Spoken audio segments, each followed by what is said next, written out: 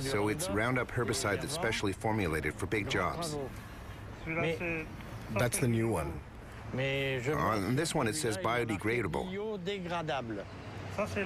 That's the old one. It doesn't say biodegradable anymore, so it must no longer be biodegradable. It's the same product. I imagine they don't have the right to say it anymore. It must not really be biodegradable. Be careful not to spray it in my face. Oh, I'm not a murderer. Well, I'm sure these Roundup Ready soybeans are ready to harvest today. They're probably about, I'm going to say about 11.5% moisture, so they're perfect for harvest. First heard about Roundup Ready soybeans in a farm magazine about eight years ago, and uh, it seemed like a neat innovation.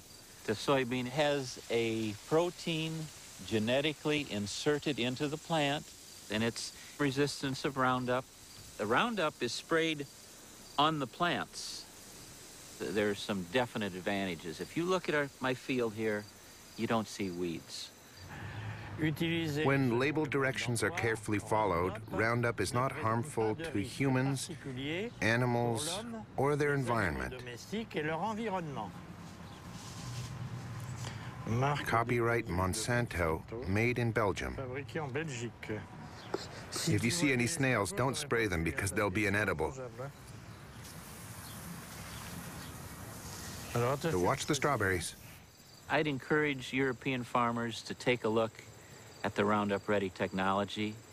Frankly, it's very good for the environment. It's a sustainable system.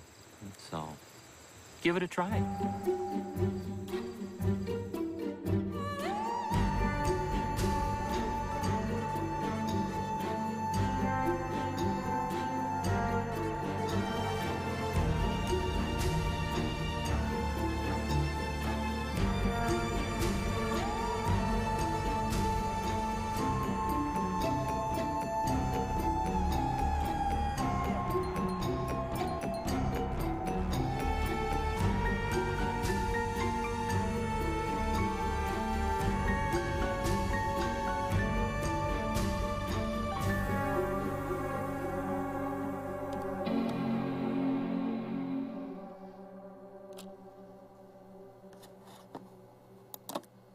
Monsanto.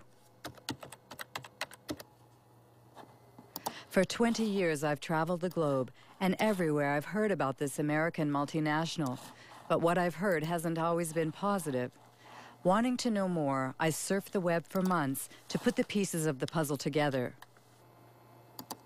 On its website, Monsanto positions itself as an agricultural company that aims to help farmers produce healthier food while reducing agriculture's impact on our environment. Its leading product is Roundup, the world's best-selling herbicide for the last 30 years.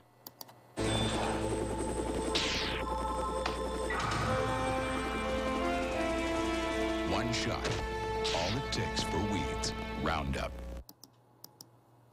Monsanto is also the world leader in biotechnology.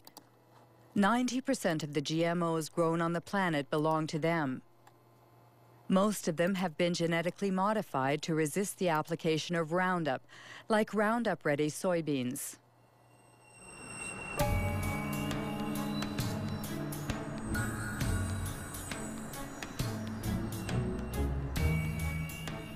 Monsanto's GMOs have invaded the planet, but no ag industry product in history has ever incited as much controversy and passion.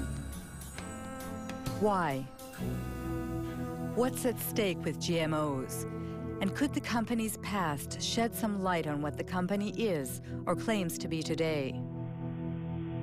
Founded in St. Louis, Missouri in 1901, it was not always an agricultural company.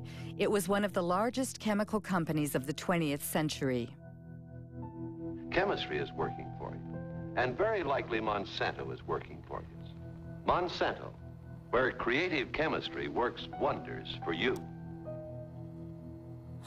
The wonders boasted about in this commercial made Monsanto one of the most controversial companies in the industrial era.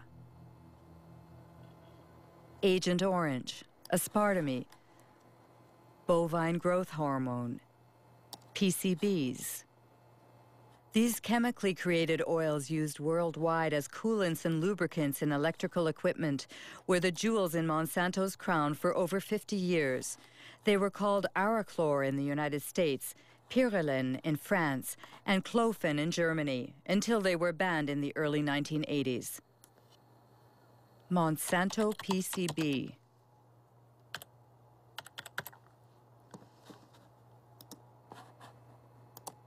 A Washington Post article from 2002. Monsanto hid decades of pollution. It happened in Anniston, Alabama.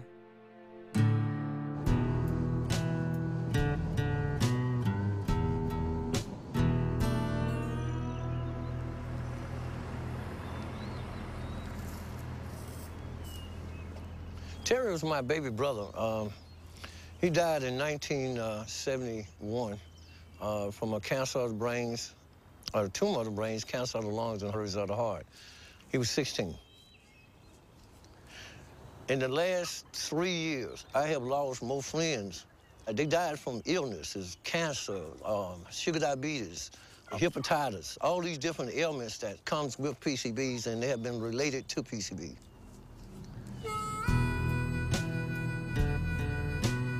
This is Monsanto Road.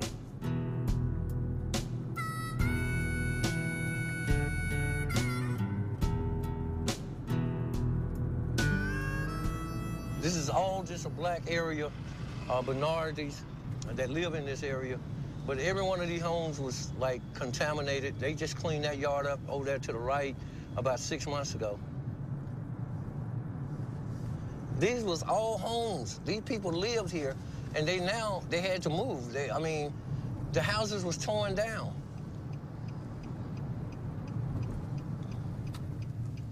My brother fell dead right around the house. This is the house I was raised in.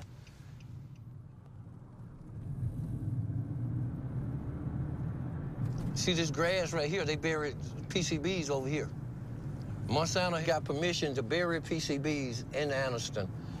And uh, this is Snow Creek right here, where they put the cement in here. It comes from the plant discharging to PCBs all the way down through here. And it was poisoning. Uh, they never told anybody, but they told the state. The state didn't tell us.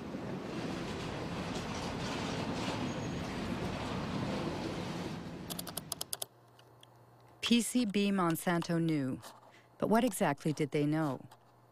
An environmental organization in Washington, D.C., headed by Ken Cook, has put internal Monsanto files online. Most of them are classified confidential.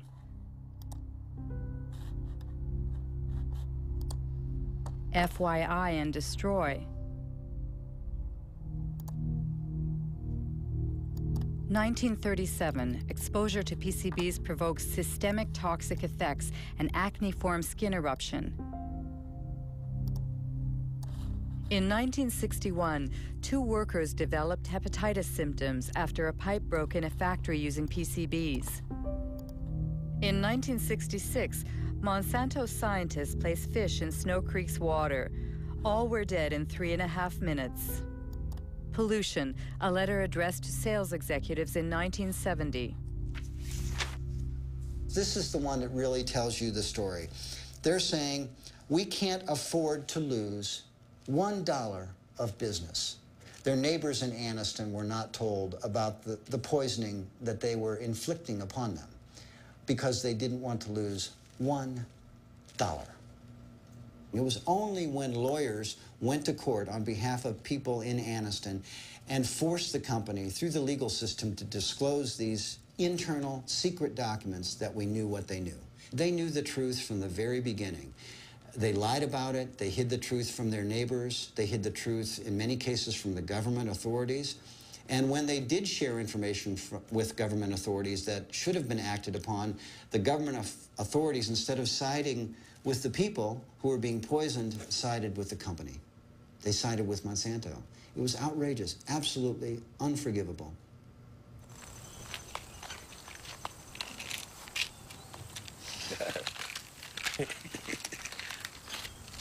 Oh, these are all your medicines? Yeah. yeah. Well, no, that ain't all of it. I got some more here. How much you have in you? 63.8 in the blood. In the blood. If they took a fatty biopsy of him now, he probably would top the scales about three or 4,000 parts per billion or more. And which is the level acceptable? I mean, Acceptable is two point part, uh, two part per billion. That's the standard all around the world. But these people, we have more in our bloods and in our body than actually anywhere else in the world. it's usual here to speak about his PCB Point. level. We all talks about it because it became a household word now. Kids used to run up to me, Mr. Baker, I, I got tested. I had three point part per billion in my blood. Uh, how, how long do you think I got? That's a horrible story. But what do scientists think about it? On the web, you can find numerous